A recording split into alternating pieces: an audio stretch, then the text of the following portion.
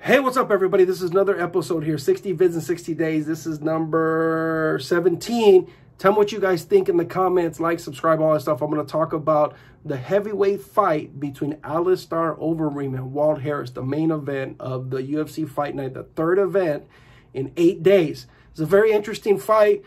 It went a weird direction.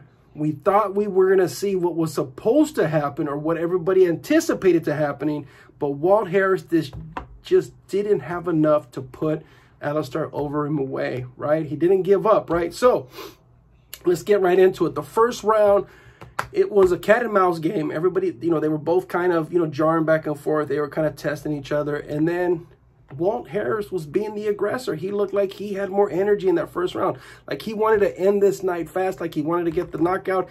He thought he had an opportunity. He connected.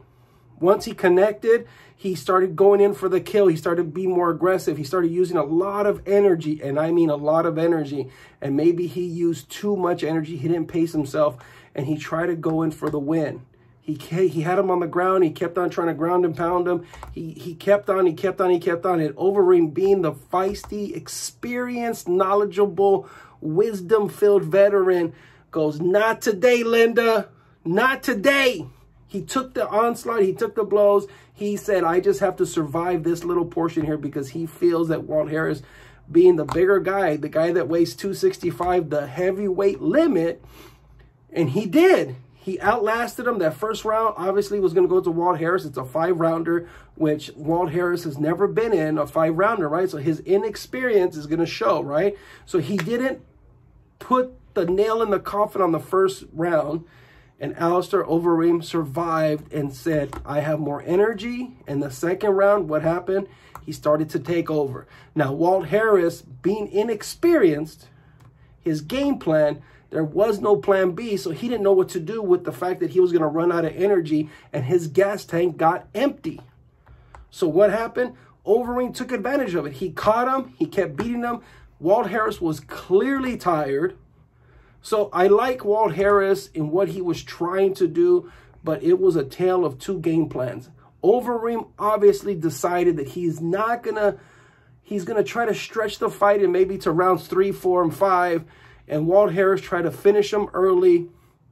And Walt Harris paid with that game plan, right? If Walt Harris was smart, he would have got up, conserved electricity, I mean, energy. Once he does, once he discovered that he couldn't finish him off and he was kind of having a hard time, you can see it, right? When he was trying to finish off Overeem, you can see that he was kind of not being able to punch in that last couple of hits.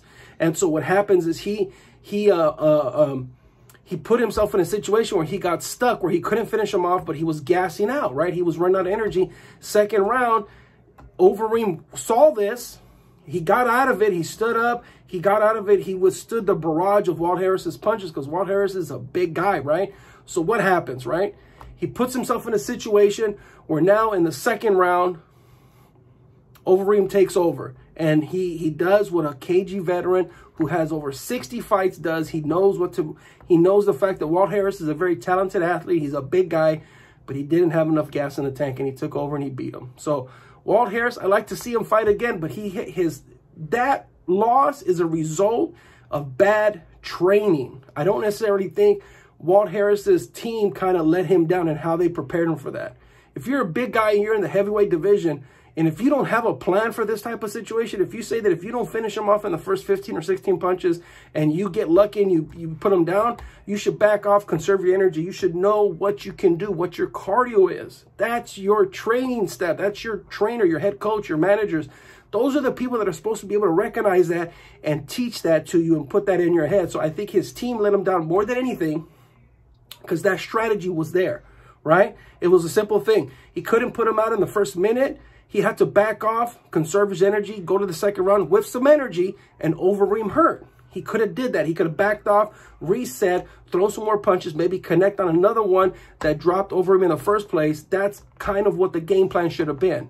If you couldn't finish him off, back off, reset for the second round, try to do the same thing again, rinse and repeat, rinse and re repeat, Overeem would have succumbed to it. Once Overeem realized that he didn't have a good game plan, he just took advantage of it. Overeem's plan was to survive the first round, which he barely did.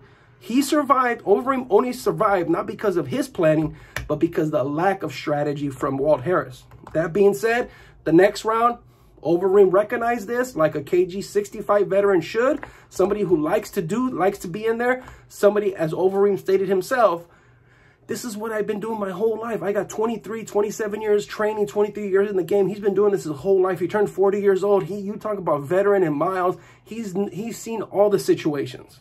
He fought Francis Ngannou. He fought all, he fought Brock Lesnar. He fought a bunch of people, right? Throughout the time of when there was drug testing, no drug testing, it was strict, not strict. So he's seen the whole gamut of the whole thing. Once you see that Walt Harris was gassed out, then you can pick your, then that's not the same guy you're fighting as in the first round. He's not going to be as sharp. He's not going to be as active. He's not going to be as responsive. And he's not going to be able to defend himself the same way. So Overeem recognized that, took it, took care of that. That's how he got the victory. It, it's really not a huge mystery about how it was happened, but that had to do with a lot with Walt Harris defeating himself versus Overeem actually being the superior athlete, quote unquote, right? But anyways, tell me what you guys think. Like, subscribe, tell me what you guys think in the comments. Talk to you guys later. Bye.